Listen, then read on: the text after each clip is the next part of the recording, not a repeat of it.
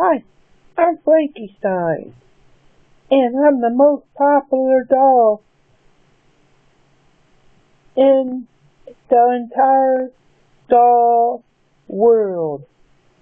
Just for now, till another doll comes out, but I'm still around.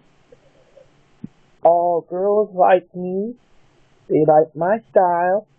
I got a nice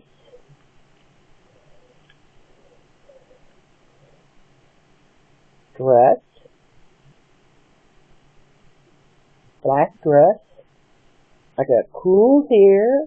See my hair is white and black. And my stitches on my cheeks, my hand, and my leg. See my leg? And my shoes.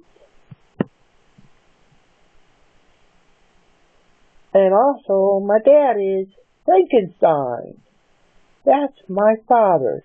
And I'm his daughter, Frankie Stein. I go to Monster High, and that's very cool, where all the cool monsters go.